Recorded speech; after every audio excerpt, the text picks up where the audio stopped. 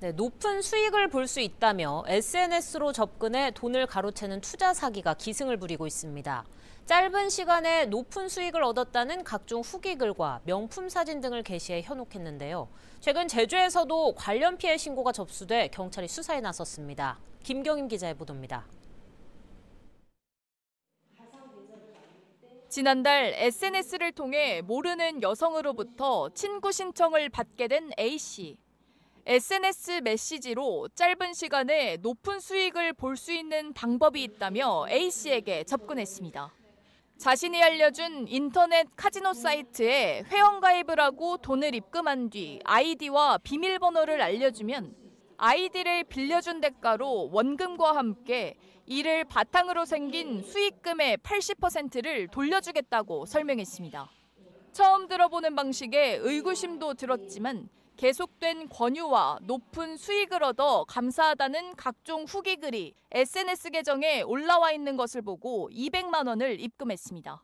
이 사람이 팔로우를 걸어서 제가 보게 됐고 거기에서 이렇게 캡처된 것들을 보니까 짧은 시간 안에 고수익이 났다 해서 저도 제가 돈이 좀 필요한 상황이고 투병 중이다 보니까 아, 이 돈을 벌면 제 치료에 좀 빨리 도움이 될까 싶어서 이렇게 시작하게 된 거예요.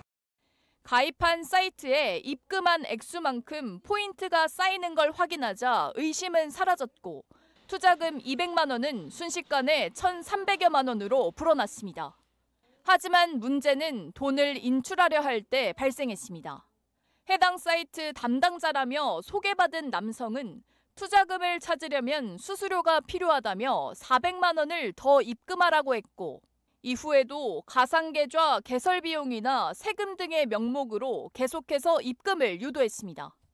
원금만이라도 되찾아야겠다는 생각에 대출까지 받아 돈을 보냈고 이상하다는 생각이 들었을 때는 이미 수천만 원을 입금한 뒤였습니다. A씨가 지난달 28일부터 보름 동안 20여 차례에 걸쳐 입금한 돈은 8,600만 원이 넘습니다. 너무하신 거 아니냐고 이랬더니 그러면 자기가 알바를 해서 뭐 10만 원이든 100만 원이든 한 달이 됐든 10일이 됐든 한 달이 됐든 자기가 돈 마련할 때까지 기다려라 하고 마지막 카톡이 왔었을 때 이건 아니다 싶어가지고 그제서야 정신을 차리게 된 거예요.